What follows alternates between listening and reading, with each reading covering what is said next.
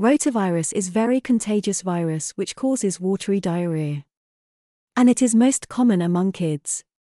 Nowadays we have vaccine, but before vaccine, rotavirus infected almost 100% of population in childhood. The most common symptoms of rotavirus are severe watery diarrhea, vomiting, fever, and or abdominal pain. Symptoms usually start about two days after a person is exposed to rotavirus. Vomiting and watery diarrhea can last three to eight days. Additional symptoms may include loss of appetite and dehydration. Dehydration is when body loss of body fluids, which can be especially dangerous for infants and young children. If untreated, children can die from the resulting severe dehydration. Rotavirus transmission can happen fecal oral way.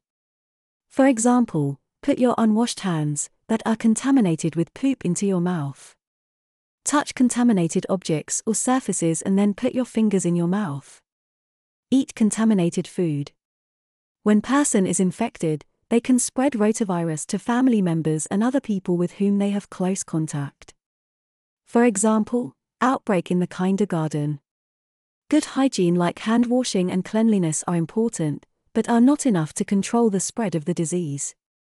Rotavirus vaccination is the best way to protect your child from rotavirus disease. Treatment of acute rotavirus infection is nonspecific and involves management of symptoms and, most importantly, management of dehydration.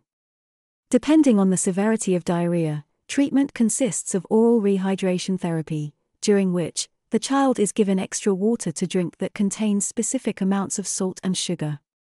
World Health Organization, WHO, and UNICEF recommended the use of low osmolarity oral rehydration solution and zinc supplementation as a two pronged treatment of acute diarrhea.